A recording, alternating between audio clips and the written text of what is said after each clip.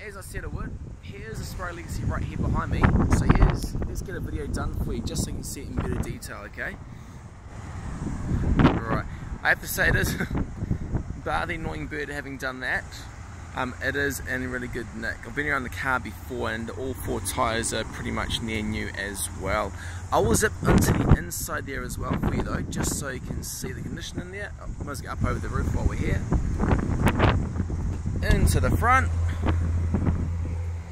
You can see up on the roof lining there, sunroof and stuff. I will finish up on the driver's seat area though. Um, it's pretty hard to get across people the how nice the cars are. I wouldn't really want to do a video if it wasn't nice. Um, obviously better come check it out face to face, but at least this should give you an idea that it is worth putting a deposit down on the car to hold it for you um, before you and the partner do come on and check it out.